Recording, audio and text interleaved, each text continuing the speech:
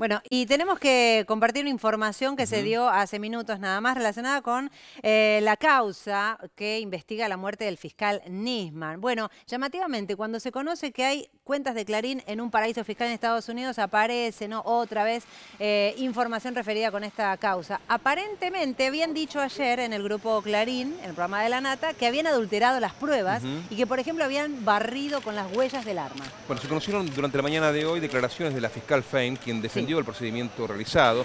La escena de no se contaminó, dijo Fein, estaba personal legista y la policía científica. El papel higiénico se usó para ver el calibre del arma y la numeración.